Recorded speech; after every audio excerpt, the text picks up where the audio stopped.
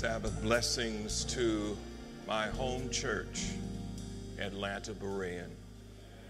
It's been so many years ago that my face is new for most of you, but I grew up right down that street, Collier Road, and my mother would take us by the hand when my father was traveling in the Great South Atlantic Conference, and we would walk up Collier Road to church right here at the corner and I remember those days. In fact, I remember as a little bitty guy that church being under construction. And it is just a privilege and an honor to be here in this pulpit where Pastor Freddie Russell holds forth. God bless you. Thank you for the opportunity to minister to you today. Special blessings and gratitude to your senior pastor, Pastor Freddie Russell, for extending the invitation.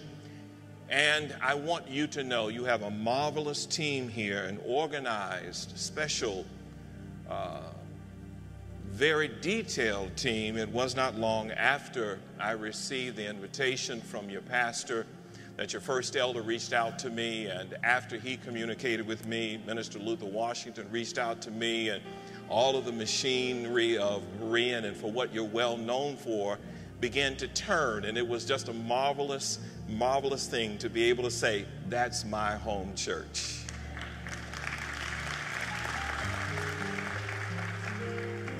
Let me dial back just a few minutes, if, if I may. Um, well, before I do that, let me, let me acknowledge something for you. Sometimes we do not really understand, appreciate, or respect the depth of leadership, the quality of leadership that God has allowed to be at the helm. And none of us, as men of God or women of God, are perfect. We are certainly not flawless, but we are fabrics that are still being woven in the loom of God's grace and opportunity. And certainly, certainly, I have to take just a second to thank God for what He has done in the life of Pastor Freddie Russell let me share with you, in case you don't know, this past week he was in leadership, teaching, coaching, and mentoring in the Inter America Division. Now, for someone who has worked at a general conference level institution, I'm here to share with you that that's major because the Inter American Division is the watershed, if you will, of the leading divisions within the Seventh day Adventist Church. Out of the 13 global divisions, Inter American Division has consistently set the pace. And I'm grateful to say that your pastor was there among the other stellar lineup of individuals sharing leadership uh, tips and coaching and mentoring. And I think we ought to praise God for that.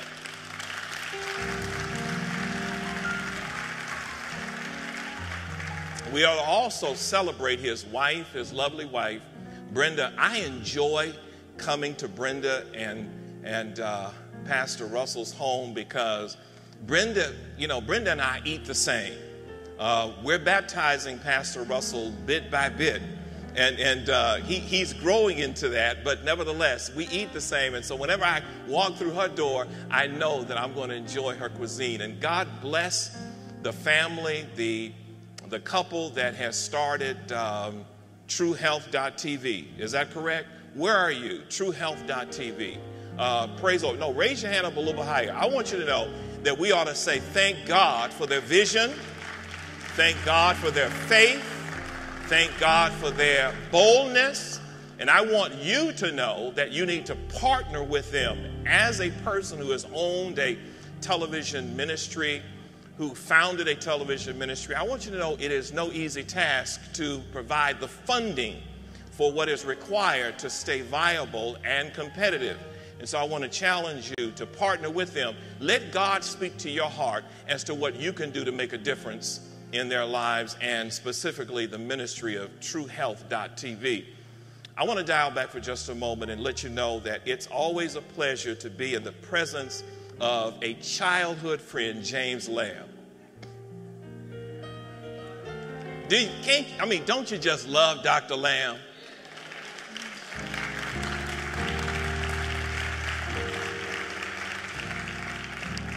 We not only grew up together, we played together, and there are many other people who um, are no longer walking with the Lord who were part of our developmental years. And we went to academy together at Mount Pisgah Academy. And so our lives have been connected and intertwined through the years. And I just want you to know how much I love you, how proud I am of you, and what God has done. And you stayed here at home. Praise the Lord. Praise the Lord. I want to make one last uh, comment of acknowledgement. I want to uh, acknowledge Mark Bunny. Where did he go? Is he, did he step out? Well, Mark Bunny and I had the privilege to work together in a major revival at the Ephesus Seventh day Adventist Church in Harlem, in New York, a few years ago. And so before he started playing, I leaned over to Pastor Russell. I said, Have you ever heard him before? He said, No. I said, All right, well, I, I, won't say anything because, because he is so gifted, so capable, so able. You don't need to say anything, just let him do what he does. Amen. And then finally, I want to uh, acknowledge my son. Uh, not all of my family is away. Deidre and my youngest, Gabriella, are up in Detroit.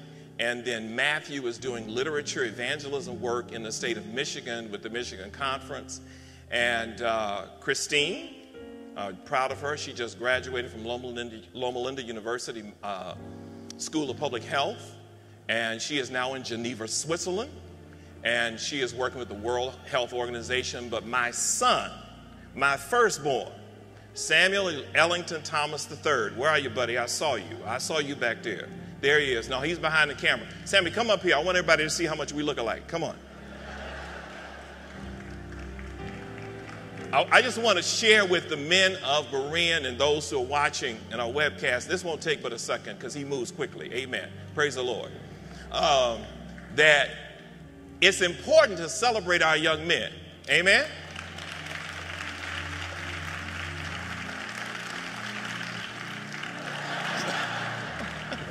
I love this guy, all right?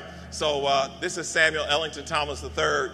My father, Samuel Thomas Sr., is laying in his grave, waiting on the coming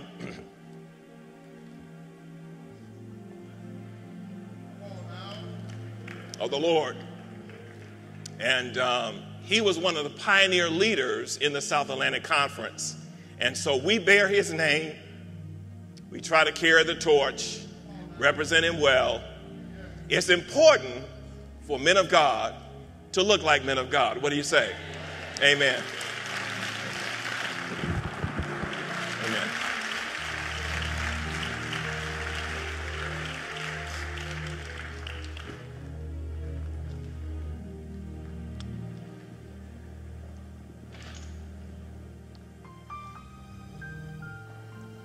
Father,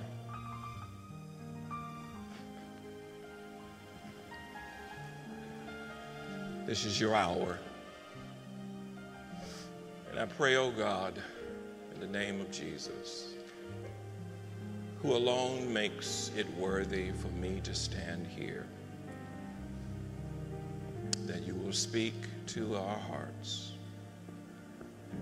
correct us, challenge us, and comfort us. We ask in Christ's name. Amen. There are three principal passages of Scripture.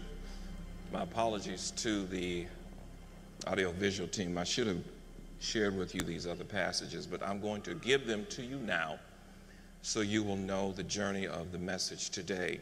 In addition to Ezekiel chapter 3, we will take a brief look at Exodus chapter 24, verses 9 and 10.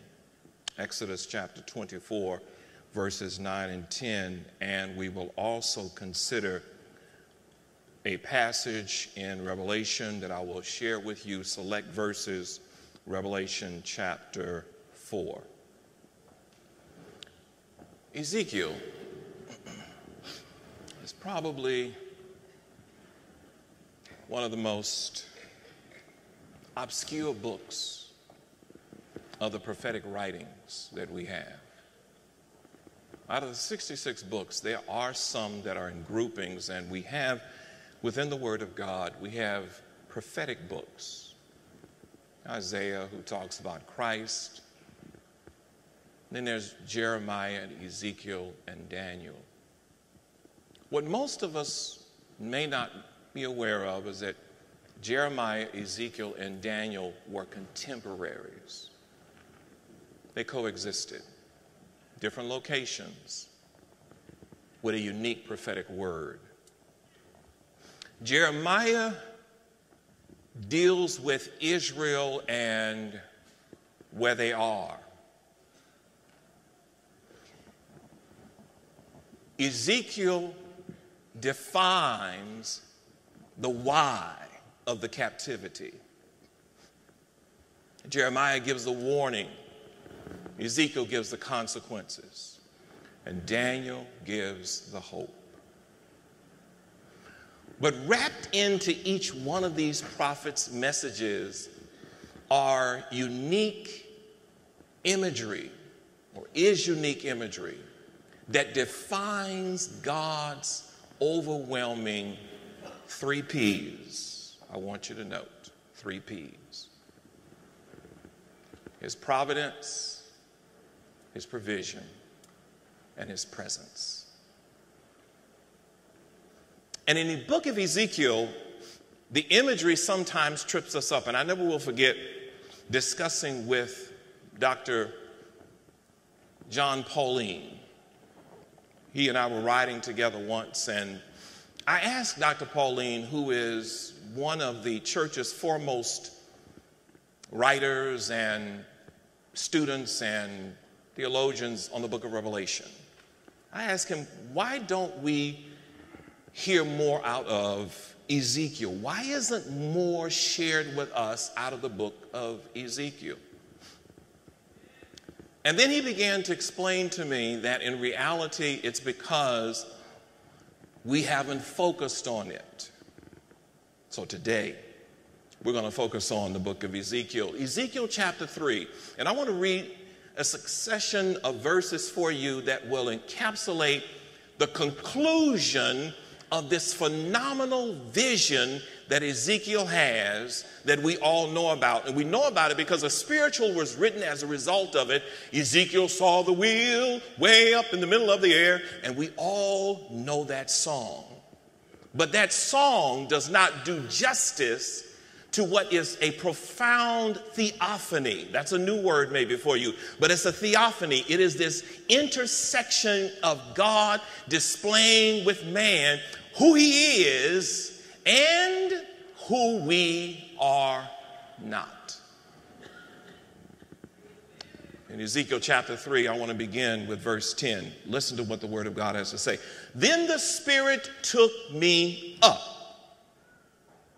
and I heard behind me a great voice, a great, I heard behind me a voice of a great rushing saying, Blessed be the glory of the Lord from his place I heard also the noise of the wings of the living creatures that touched one another, and the noise of the wheels over against them, and a noise of a great rushing. So the Spirit lifted me up and took me away, and I went in bitterness and in the heat of my spirit. But, the King James Version says, but the hand of the Lord was upon me, was strong upon me then I came to them of the captivity of Tel Abib that dwelt by the river of Chebar. And I sat where they sat and remained there astonished among them seven days. And it came to pass at the end of seven days that the word of the Lord came unto me, saying, Son of man, I have made thee a watchman unto the house of Israel. Therefore, hear the word at my mouth and give them warning from me. When I say unto the wicked, Thou shalt surely die, and thou givest him not warning, nor speakest to warn the wicked from his wicked way to save his life, the same wicked man shall die in his iniquity but his blood will I require at thine hand. Yet if thou warn the wicked, and he turn not from his wickedness, and he turn rather not from his wickedness, nor from his wicked way, he shall die in his iniquity, but thou hast delivered thy soul. Again, when a righteous man doth turn from his righteousness and commit iniquity, and I lay a stumbling block before him, he shall die. Because thou hast not given him warning, he shall die in his sin and his righteousness which he hath done shall not be remembered. but his blood will I require at thine hand.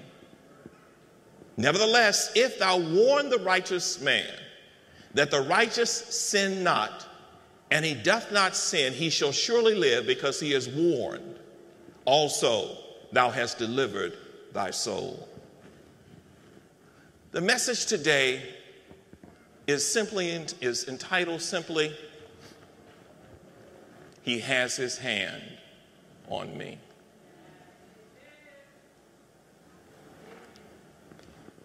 Ezekiel has to explain to some very, very troubled people why they are in Babylon.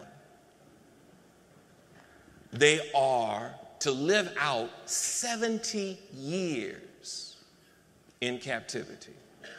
70 years of struggle, 70 years of change, 70 years of strange language, 70 years of a, of a most oppressive environment. They have to endure hardship that they didn't plan on, yet they lived recklessly, not recognizing that there would be consequences for their behavior. Jeremiah, when he lifts up a word and he talks about what is happening in Jerusalem and that they would be besieged and that Nebuchadnezzar's army would march against them and that he would take them captive. They made mockery of Jeremiah. They put him in a pit. They put him in stocks. They didn't like what he was preaching, but nevertheless, Nebuchadnezzar's army marched besieged Jerusalem to the point that they were eating their children, and all of a sudden they find themselves now marching hundreds of miles along the Fertile Crescent going from Jerusalem up and around through southern Turkey and northern Syria and down into Babylon, which is now modern day Iraq. And when they arrive there, we have this famous Psalms that comes to us. Turn with me, Psalm 139. I want you to to see this psalm because it's a powerful psalm, Psalm 139. And you've heard this psalm before. It says, By the rivers of Babylon we sat, we wept when we remembered Zion. Okay, let, us look at that. Psalm Uh, 137, pardon me, 137. By the rivers of Babylon there we sat down, yea, we wept when we remembered Zion. We hanged our harps upon the willows of the midst thereof. For there they that carried us away captive required of us a song, and they wasted us, required of us mirth, saying, Sing us one of the songs of Zion. Verse 4 How shall we sing the Lord's song in a strange land? Verse 8 O daughter of Babylon, who art to be destroyed, happy shall be he be that rewardeth thee as thou hast served us. This is not only a recognition of their condition, but it is also a hope and a promise that Babylon would be destroyed. There's this desire, there's this longing, there's this hunger within them that Babylon will be destroyed. But we first of all have to understand why they are in Babylon. God's people are in Babylon because they would not choose righteousness. They would not choose holiness and they wouldn't choose God's way. And how do we know that? We know that because at the beginning or the onset or the outset rather of this particular vision that God gives Ezekiel, he gives him a vision. He gives him a vision. And in this vision, as the graphic artist tries to portray in, a, in an image that they're going to put up on the screen very shortly, he's lying prostrate on the ground and, and he's trying to capture all of the glory that he sees, and he sees this imagery and he tries to capture what is really going on because the imagery is something that he's never seen before. He is seeing this profoundly unique environment that is beyond explanation. So he tries with human tongue to explain what he sees. Go with me to chapter one, and this is how he explains it. It's Ezekiel's vision of four living creatures. And I looked, and behold, a whirlwind came out of the north. Came out of the where, everybody? Came out of the where, everybody? Now, the reason that that place or that location is significant is because the psalmist says that God's throne is in the sides of the north. So, this FedEx package from glory, if you will, is coming straight out of the sanctuary of God, coming straight to Ezekiel because God is determined to give to Ezekiel a message that his people will understand that there is a holiness, a righteousness that God has and that He lives in this holiness and righteousness. And notice, if you will, He expresses it through symbolism. This is how God explains Himself. Listen to what it says. And I looked, and behold, a whirlwind came out of the north, a great cloud, and a fire enfolding itself, and a brightness was about it. And out of the midst of thereof was the color of amber out of the midst of the fire. Also, out of the midst thereof came the likeness of four living creatures, and this was their appearance. They had the likeness of a man. Everyone had four faces, and everyone had four wings, and their feet were straight feet, and the sole of their feet was like the sole of a calf's foot, and they sparkled like the color of burnished brass. And they had the hands of a man under their wings on their four sides, and they four had their faces and their wings. Their wings were joined one to another. They turned not when they went, they went everyone straight forward. As for the likeness of their faces, faces, verse 10, they four had the face of a man and the face of a lion on the right side, and they four had the face of an ox. On the left side, they four also had the face of an eagle. If you read on through this passage, you will find out that when he sees this vision, that God's throne is situated, it is positioned with the color that denotes blue, which blue, representing the law, is the foundation of which Moses saw. Now we're going to go to, to Exodus chapter 24, and this is how we're going to understand the Word of God because we're going to be able to compare this scripture with Exodus chapter 24. And then it says in Exodus 24, verses 9 and 10 Then went up Moses and Aaron Nadab and Abihu and 70 of the elders of Israel, and they saw the God of Israel, and there was under his feet, as it were, a read with me, a paved work of what, everybody?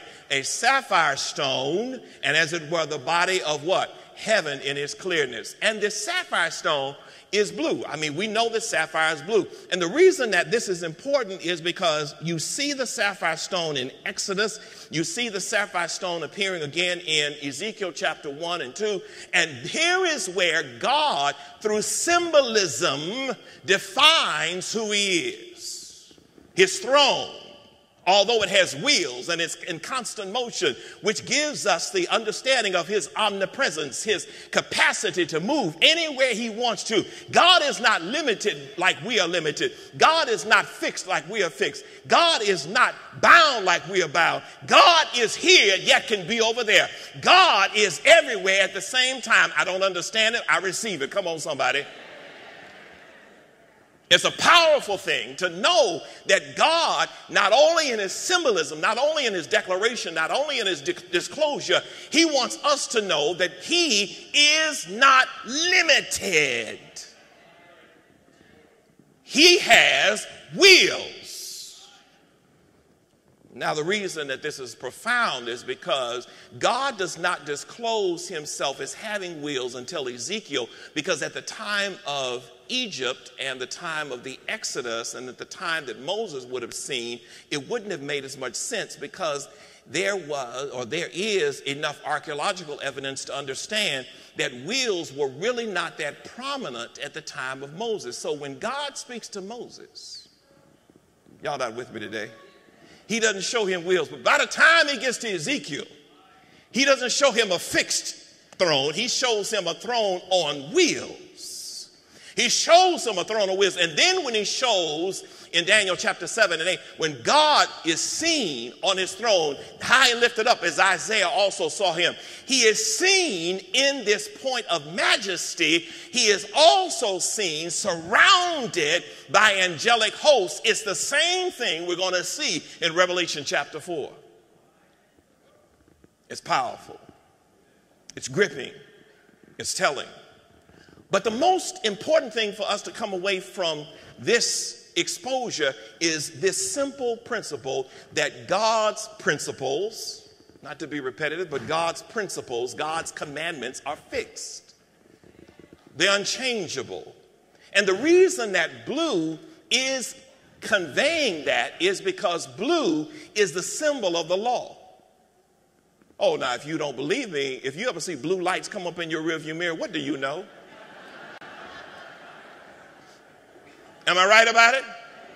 You know that you've been stopped by the by the law.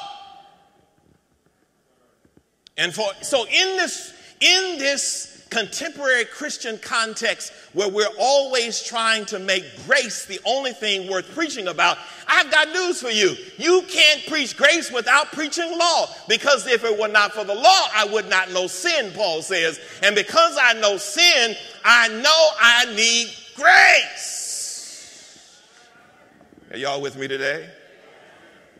And it's the law that convicts. And that's the reason why you find a response both in Exodus chapter 24 and then also in Ezekiel 3. You find this synonymous behavior that's not scripted. The same happens with Isaiah in Isaiah 6. It's, it's not scripted. They immediately fall on their faces. So much holiness not just glory, but holiness. Holiness is what I long for. And you've got to want it in your heart. And Ezekiel captures this essence of, of why his people are in captivity, why there was a 70 year verdict on their behavior. Here it is in a nutshell because God's principles cannot change. God uses corrective measures to get our attention. See, sometimes when we ask for healing, as I tell my church, City Temple, and City Temple is a church that has great history like Berean, and you know, we're just north of the frost line. Y'all missed that. Okay, let me try it again. We're north of the frost line. Uh, you know, you all shut down when there's snow. We have church. Snow does not stop us. And, and let me help you. In fact, we don't even, Michigan is so used to snow, they, they don't even have school closures. You know, I never forget Gabriella woke up and she looked outside. Hallelujah! The school is closed today. All schools are open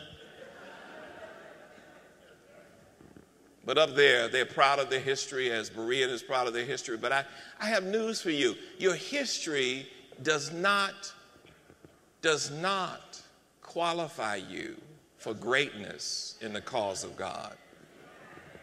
I, I, hate to break it to you. I mean, I know that you've got photographs galore. I mean, I've been on the website because Berean is home. So every now I take a little sneak peek and I look to see all the faces I know and I don't know and all that kind of stuff. I go to the website and Facebook site and all that kind of good stuff. But guess what? That is not impressive to God.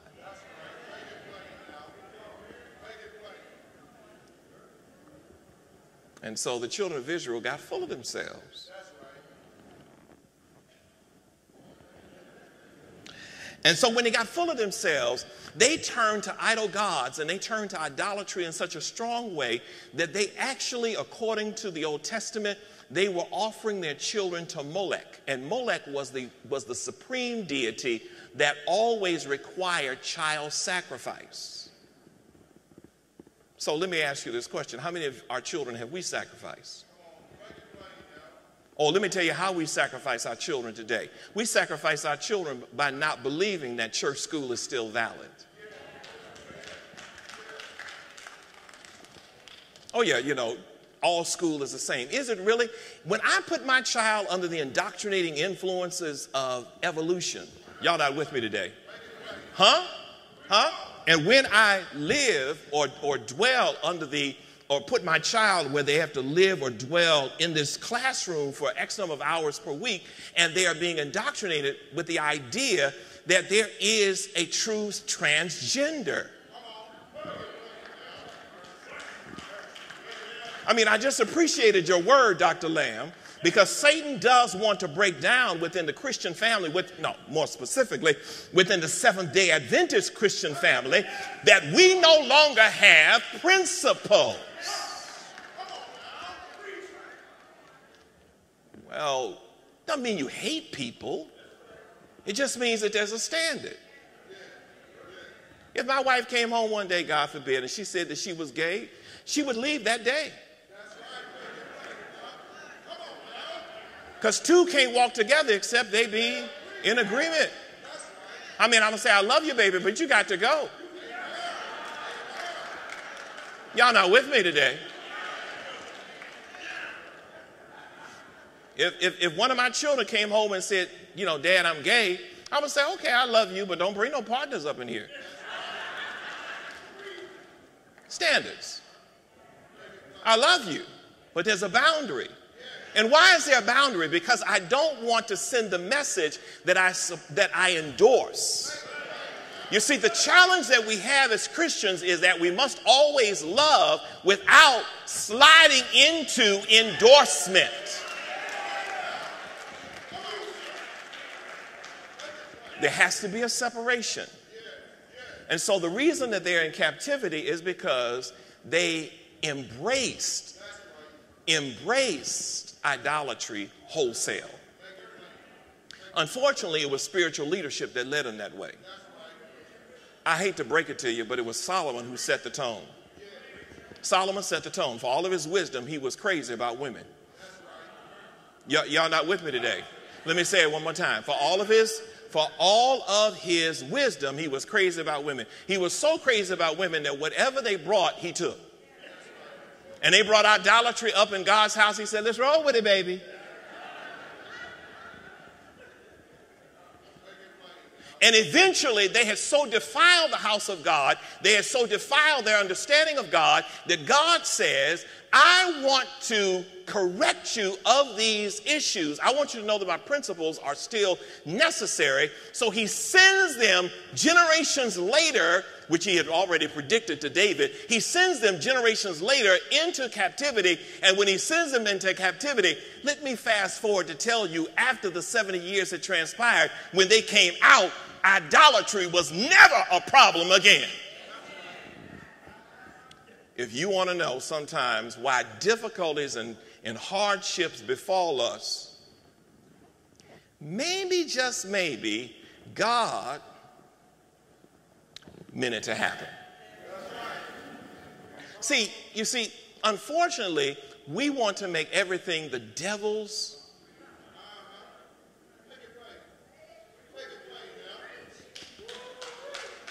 We want to blame everything on the devil. Now, of course, sin makes us want things that are not good for us, right? So if you, let me help you like this. If you eat the wrong thing over and over and over again, and then you walk up in the cardiologist's office and he says, You got blockage, you got this, you got that, and then the nephrologist tells you your kidneys are failing, don't say the devil did it.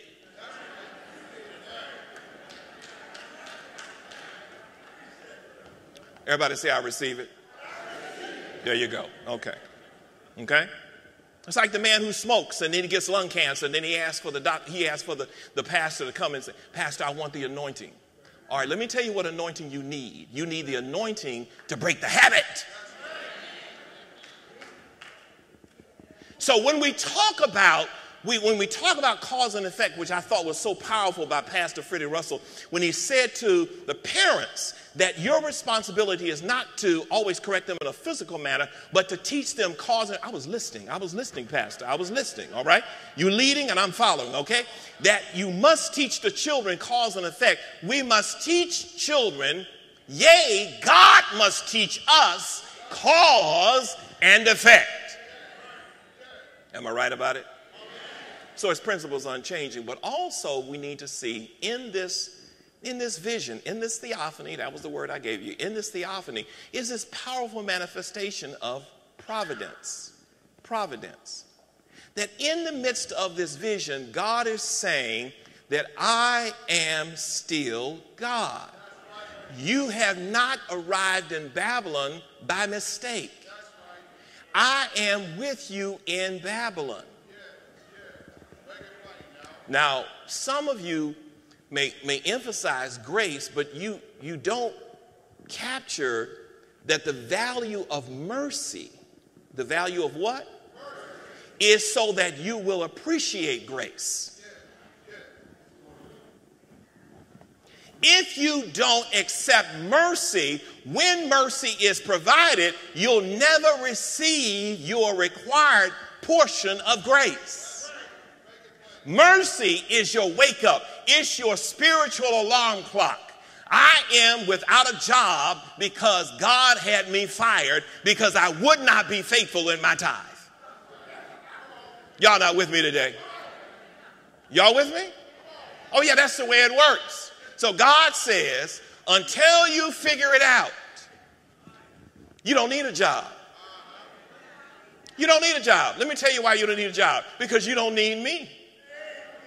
Listen to me talk to you now. Listen to me talk to you. You don't need me. You say, Yes, God, I need you. Oh, no, you don't need me. Yes, God, I do need you. Oh, no, you don't need me. Why do you think I don't need you, God? Because you don't need me until a crisis. I never forget the late C.D. Brooks was preaching in one of my churches, and he, he talked about what he called fire escape religion. What's fire escape religion, preacher? Fire escape religion means you only find God when there's a fire that breaks out and you're trying to get out. You look for God. God, I'm unemployed. Lord, you know I got all these children to feed. and I got a wife who got me in this big old house and I need to cut the mortgage and now I'm unemployed. God said, Oh, so now you want to talk to me. And the children of Israel at this location by the river Kebar. Now, let me share this with you. Kebar no longer exists. Kebar is thought to be a tributary, or was thought, or is thought to have been a tributary from the river Euphrates. And so, really, it was more like a, a stream, it was a canal or something to that effect. And so, they're sitting there and they're looking at each other. Have you ever hung out with the folk in the hood and nobody says anything? And they just kind of look at each other? Because everybody's in misery. Y'all with me today? I mean, come on. All of your family is now middle class. Come on now. Come on, somebody. Am I right about it? Okay, and you sitting there and you don't say anything because the grief is so thick, it's palpable, right? And so everybody's just sitting there. I never forget the first time that I pastored in the deep south. And I'm not going to tell you where I pastored, I'll just say it was deep south. And uh, I, went to the house of the, of the deceased, and the family was sitting around in a large circle. People would come in, they'd bring food. And I was learning the culture of the community, and nobody said a word. And everybody just sat there.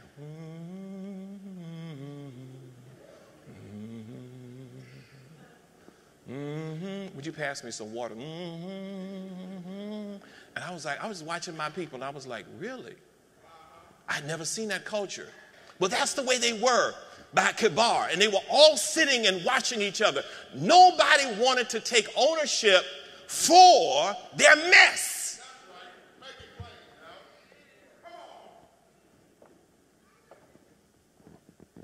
You have situations in your life that God has not God has not abandoned you. You've abandoned God. And so God shows up to share with Ezekiel, basically in word pictures, tell my people if they would just stop commiserating, get off the pity pot, and just do some confession and repentance. Y'all not with me, huh? If my people who are called by my name shall do what? Humble themselves. Well, wait a minute. We like to rush past that part and get to the and pray. Well, there is a key pivotal part of that text. Shall do what? Humble themselves. You know, when you have to humble yourself, you are really moving up the ladder of Christian growth. Are y'all with me today? I never forget. Let me give you this very quickly. I never forget. Good Lord, have mercy. Let me tell you this. I never forget. I never forget. Let me share this with you. I know when the Review and Herald Corporation Association took the, made the decision in May of 2014 to close. And our general conference president came and, you know, tried to smooth things over and everything was trying to, you know, be made right. And then I got a call from the then General Conference treasurer. His name was Bob Lemon. Yes, I want that to go down in the record. He called me on my home phone. Samuel, we only have about 30 more days we're going to carry you. And all of a sudden, my salary was coming to an end. My life was about to change. And I was in this big house, fully furnished, two cars in the garage. And I was like, oh Lord, my salary is about to be over. And for 15 months, for how long? 15 for 15 months, I had no salary. But God took care of me.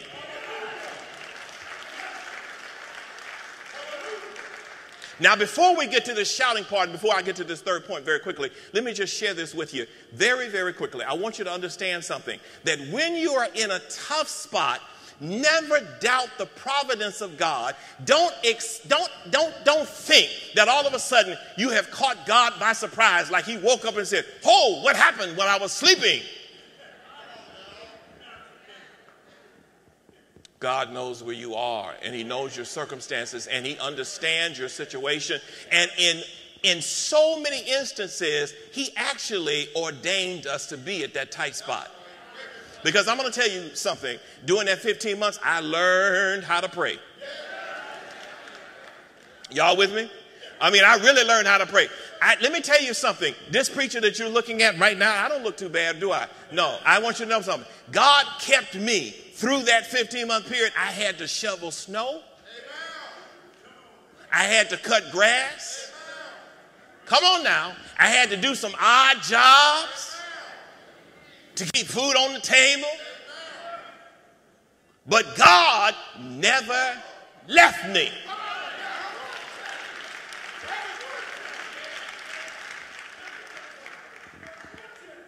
And I want to share this with you that not only are his principles fixed, his providence permanent, but his presence is definable. His presence is what? Definable. One more time. His presence is what? And that's what we see. In this last and third point, I want you to see that when Ezekiel gives us this, this description of this theophany, it's Christ.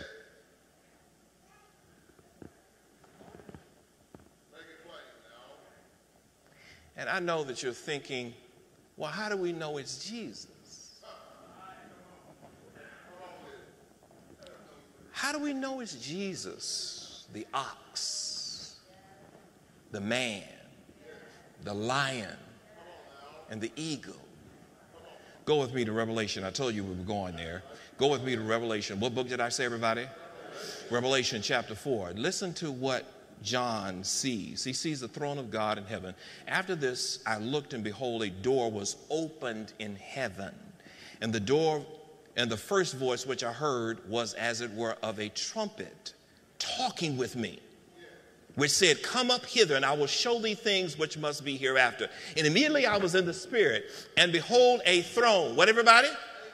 Okay, now this is the same kind of vision that Moses had and then Ezekiel had. So he sees a throne in heaven, and there was one who sat on the throne, and he that was to he, he that sat was to look upon like jasper and a sardine stone, and there was a rainbow round about the throne in sight like unto an emerald.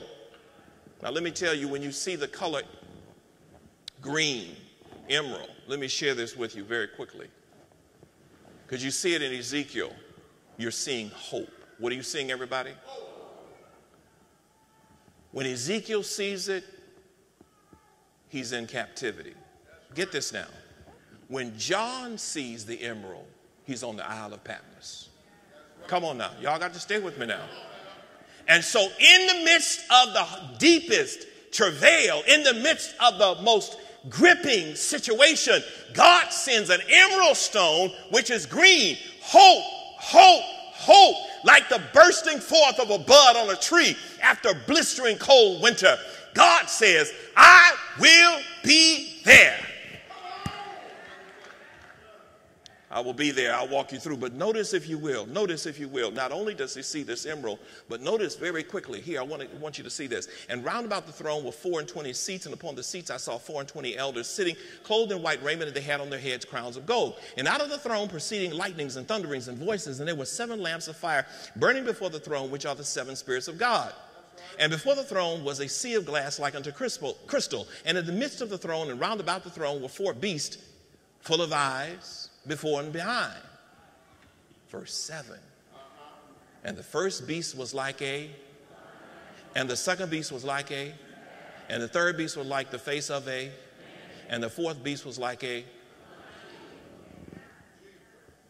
The same four that are in Ezekiel 1 and 2. Let me give to you very quickly.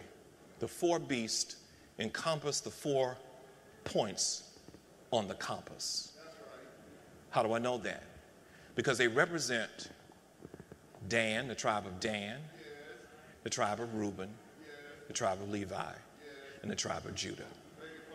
Y'all with me? Four points. And each one of those tribes had a assigned, had an assigned location in the camp of Israel around the sanctuary. And so they represent the four points on the compass. And so, what God is saying through symbolism, He says, There's no place on this planet you can go that I'm not already there. Lo, I will be with you even until the end of the age. Ah, but more important than that, let's understand what those four, those four faces symbolize. First of all, we have the face. Let's look at it. Let's go in, in, in, in systematic order, in sequence. Here it, here it is. The face of a lion. Christ is the lion of the tribe of Judah. Okay? The second beast was like a calf. The calf symbolizing the perfect sacrifice, also the beast of burden in the Middle East. And what that simply means is that Christ is ever toiling for our salvation. Y'all not with me? He's ever toiling for our salvation. He's ever desirous that we, be, we would be saved. He never gets tired. Thirdly, here it is, very quickly. Listen to what it says. And the third beast was the face of a man. Did Jesus become man and dwell on this earth? All right. And then finally, finally, a flying eagle in Ezekiel, it talks about the fact that Jesus is not only like the eagle, but he has talons and he is holding the serpent in his claws. What does that symbolize? That he has victory over the devil, that old serpent, the devil. Y'all not with me today? That he has destroyed the devil. He has already claimed victory, that it is already ours by faith. So how do we how do we conclude this? How do we wrap this up? Here's how we wrap this up. That his principles are fixed and he wants us to never forget his principles. He never wants us to forget who he is and what he stands for. He wants us to never forget that his providence is always there. But more specifically, the difference between the providence and the presence is a fine line, nevertheless distinctive. Because in providence, it means that he's everywhere, but in presence, it means he's personal. In providence, he's everywhere, but in presence, he is one on one. In providence, it means that he is watching over Berean, but in presence, he's watching over you. In providence, it means that he has not left the Adventist church. He raised it up for a purpose, so he has not left this church. But in presence, it means he's watching over Berean as an emblem of that global church. A is watching over this pastor. He is watching over the leaders. He is watching over each and every one of us. He is walking with you. He is talking with you. And if we will hear him, he will lead us. He will carry us. He will teach us. He will be with us. He will carry us. We will always be in Him and with Him if we treasure His presence. I have to ask this question Does your life exemplify the principles of God?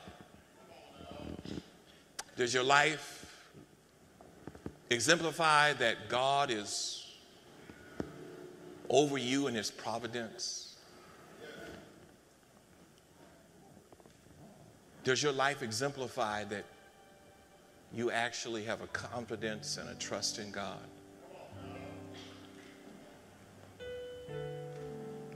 You know why I ask that question? Because none of us choose or desire hardship.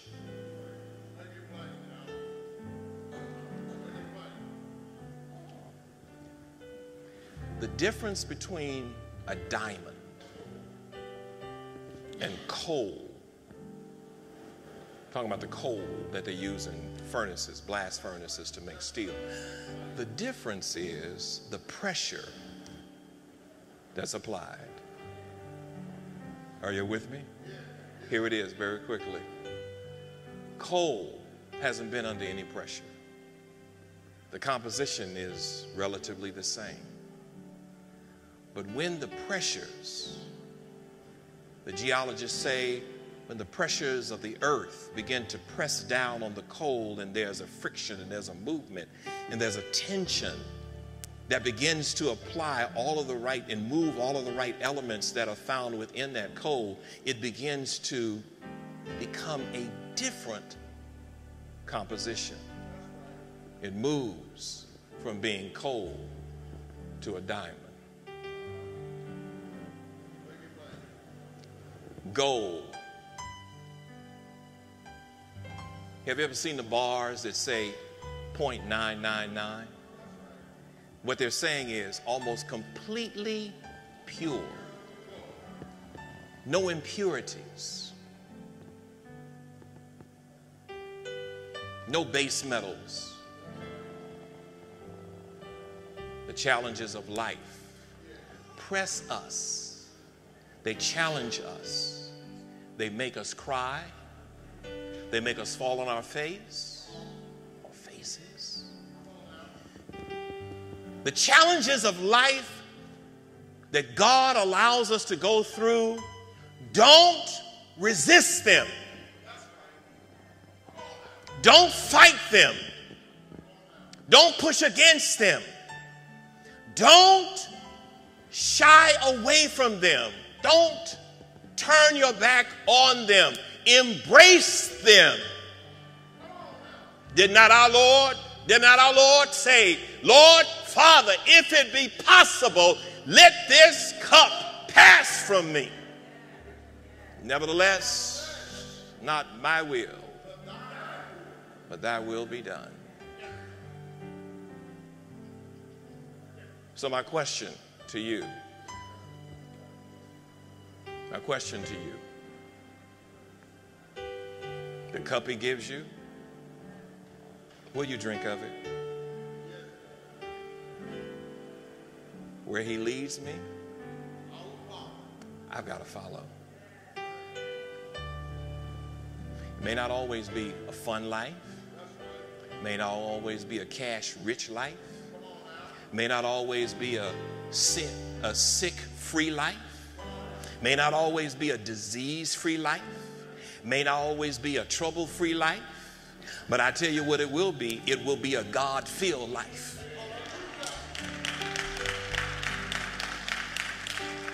Where he leads me, I will follow. Where he leads me, I will follow. Who's going to lead us in that? Come on, sing that for us. Listen to these words as she sings.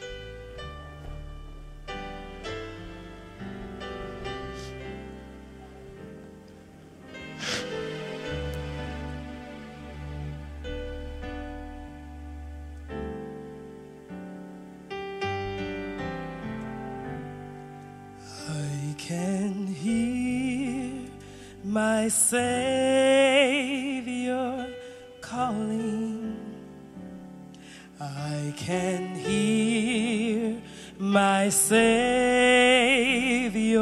calling. I can hear my Savior calling. Take thy cross and follow, follow.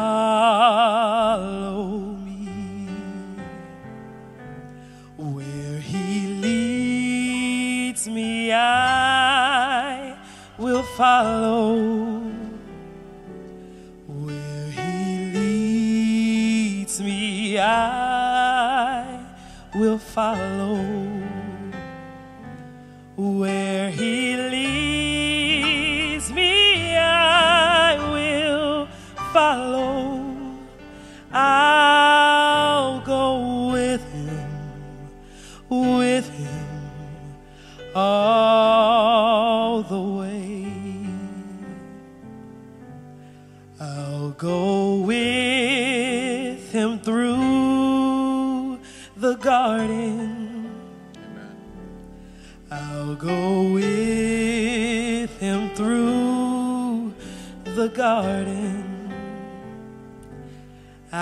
go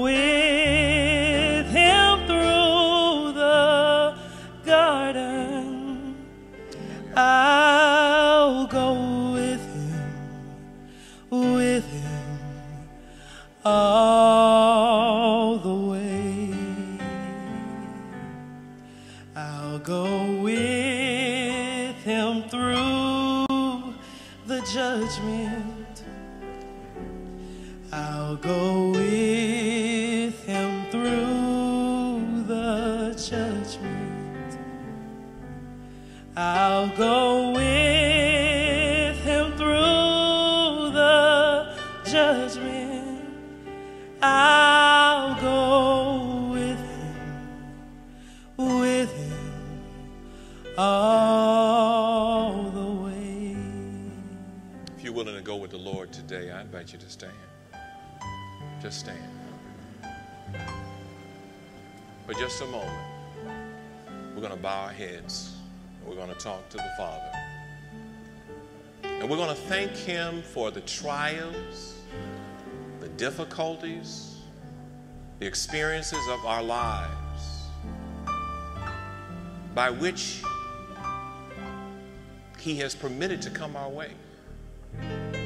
We're going to say thank you, Lord, for the grief, for the sorrow, for the pain, for the challenges. We're going to say, Lord, I'm so grateful that you care so much about me. You're trying to save me. I care so much, Lord, that you care about me. Father in heaven, our heads are bowed, our eyes are closed, and we just want to say a brief prayer. Thank you for all the difficulties, for all the challenges, for all the fire, for all the storms, for all the regrets that we have to now acknowledge were our fault and not yours. Lord, I ask you to give us a heart to say thank you if we don't know how to say thank you. So, Lord, I want to say thank you. Thank you for 15 months of unemployment. Thank you, Lord. Thank you, Lord, for helping me to have a closer relationship with you. Thank you, Lord, for permitting me to have that time of separation from daily responsibilities that I could just sit alone in the closet, as it were, and talk to you and learn from you. Thank you, oh God, for what you did. Thank you. But Lord, I want to add to this prayer that someone in this church, maybe even watching on the webcast, is saying, Lord, I have messed up my. I've not been walking in faithfulness. I've not been walking in principle. I've been walking outside of your providence. I have been ignoring your presence. And Lord, today I want to start all over again. If that's your conviction, I invite you to come down right now. If that's your conviction, I want you to come down right now. Come on. Come on. You're there. You're there. Whether you're in the balcony or on the main floor, you're there. Some child, some adult, some teenager, some senior, you need to come out from where you are and say, Lord, I want to start all over again. Come on. Come on. We have the time for you. Come on. Don't be ashamed. Nobody's going to do investigative research to find out why you're coming. We just want you to come. This is an opportunity for you. We don't want you to miss it. We don't want you to bypass it. We don't want you to leave this place not having made that commitment. So I invite you to come. Come, wherever you are. Come on. Holy Spirit is speaking to your heart, touching your life, rolling through your mind all of the circumstances and situations that you have endured, many of which you put yourself in. God had nothing to do with it. But his hand is still on you. His hand is still working with you. His hand is still providing the support and providing the encouragement and providing the security and providing the, the direction that you don't have for your life. I invite you to come. Come on. Where he leads me. Come on, we can sing that together. Where he leads me. Where he leads me, I will follow. Come on now. Where he leads me, I will follow. Will you go with him? Where he leads me, I will follow. Will you go? I'll go with him, with him all the way. One more time, where he leads me. Where he leads me, I will follow. Come on now, are you serious about following him? Where he leads me, I will follow. Are you really going to follow him? If you're going to really follow him, put your hand up. If you're really going to follow him, put your hand up. Oh, yes, Lord, we're going to follow. I'll go with you, with him, all the way. Comes another where he leads me. I will follow.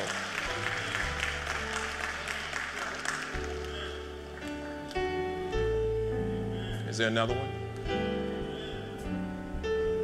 Is there another one? That's right, sing it. Surrender all.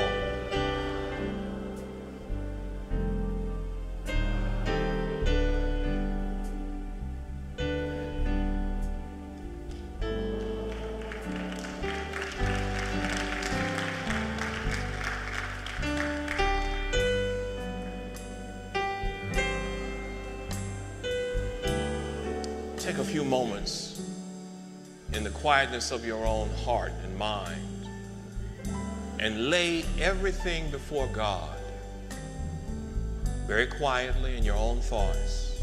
Close your eyes. Ask God to show you that marvelous vision of His providence, of His principles, and His presence. Because all of them are in Christ. Christ ever leading, Christ ever directing, Christ ever encouraging, Christ ever supporting, Christ there directing, guiding. Father in heaven, we thank you for these souls that have come. I pray, Lord, that you would seal their decisions. For the rest of this, of us that are standing on our feet, whose hands have gone up in submission, I pray, O oh Lord, that you will indeed give us the strength to follow you in faithfulness. Give us the decided minds to walk with you no matter where you lead. For we ask it in Christ's name. And for his sake we pray. Amen and amen.